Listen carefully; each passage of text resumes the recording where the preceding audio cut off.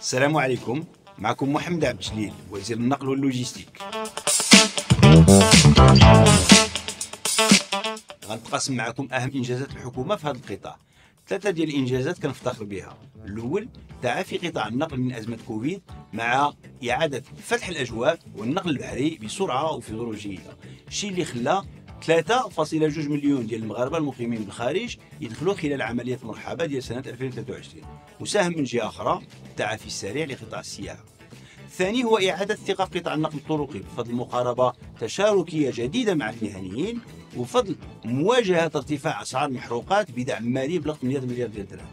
وهذا الإنجاز ساهم في التحكم في التضخم وضمن استمرارية خدمات النقل تفاديا لآثار سلبية خطيرة. والثالث هو تسريع ورش الرقمنة في الإدارة بهدف تبسيط المساطير وتحسين وتقديم الخدمات للمواطن. بالنسبة للمستقبل عندنا ثلاثة ديال البرامج المهيكلة تنفيذا للتوجيهات السامية لصاحب الجلالة الملك محمد السادس نصره الله. أولا البرنامج الشكاكي مع ربط مدينة مراكش بالخط الفائق السرعة ومن جهة أخرى خلق نقل شكاكي جهوي عالي الخدمة في المناطق الحضرية الكبرى.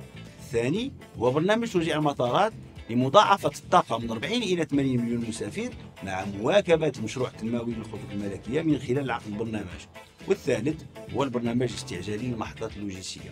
كما أننا بدأنا الدراسات من أجل تكوين أسطول بحري قوي وتنافسي تبعا للتوجيهات السامية. وختاما نشتغل بجدية من أجل ضمان نقل مستدام ذو سلامة وجودة عالية لكل المواطنين بما في ذلك العالم القروي في إطار ميثاق وطني للتنقل يستجيب لتطلعات النموذج التنموي الجديد.